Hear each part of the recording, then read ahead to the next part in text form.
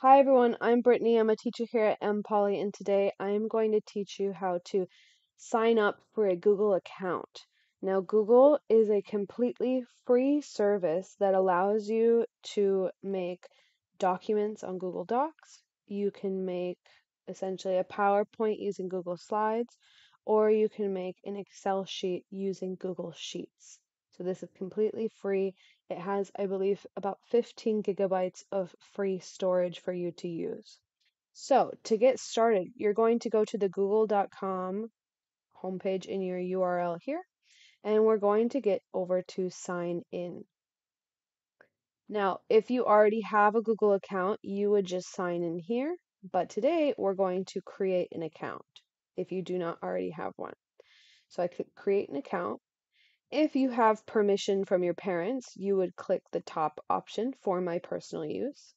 If you are a parent signing up for your child, then you would click for my child. So we're going to click for my personal use. You're going to put in your name. You can put in your English name or your Korean name. Then you're going to put in your birthday and gender. So you can put female, male, rather not say, or custom female, and then you'd put in your birthday. Once you've put in your information, then you can choose your Gmail address. Now, this is an account that you want to be able to use for years after you make it. So you don't want to make it something silly. You can choose from the options they give you, but some of these are kind of strange. So I would suggest create your own Gmail address. So for me, mine is going to be brittany.mpolly at gmail.com. For you, I would suggest using maybe your English name or your Korean name written out in English and maybe putting some numbers for you could also do something like your first name and then your last name after it. So whatever your last name is, Kim, Lee, Park, anything like that. And that is like a professional looking Gmail account. Again, I'm going to do brittany.mpolly at gmail.com. Once we go to next, we're going to create a password. Now you want to remember your password, so definitely save your password in the Notes app on your phone or write it down somewhere. Make sure to tell your parents your password so that you don't forget it because it's very, very important that you don't forget your password. A strong password would have a combination of large letters, numbers, and symbols. So maybe something like dog name 578 at something like that. So you want to have a strong password. Once you've created a password, then you're going to go on to next add a recovery email. So this is an email that Google can reach you at if you've gotten locked out of your account or if you've forgotten your password. So I would suggest you put maybe one of your parents' email addresses in there or something like that. But for now, I'm going to skip this. So this is my account information. Review it, make sure it looks correct, and then press next privacy terms. Can scroll down to the bottom. I agree to Google Terms of Service and I agree to Location Terms of Service. And then I'm going to click Create Account. All right, now your account has been created. As we can see in the corner, there's a B for Brittany, my Google account. Now I'm going to show you guys how to use the Google Apps. So you can see here we have Gmail, which is here. So you can click there to get to your email account if you would like to do that first. Otherwise, let's go back. We're going to go to the Google Apps. You can also access Gmail from here, but you can access anything else as well. So if you want to have a YouTube account, Google owns YouTube, so you are able to comment on people's videos, like videos, and subscribe using that. Otherwise, there are many other things maps, news, chat, meet, but what we're going to talk about is Google Drive. So you want to go to Google Drive and click on that. Google Drive is basically a service that saves all of your files. So from Google Drive, you can create new files here. You can choose to create a folder, upload a file, upload a folder, make Google Docs, Google Sheets, Google Slides, Google Forms, or more. So we're going to create a new folder.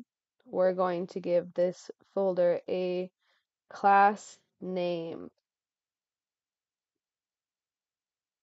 We're going to create this folder.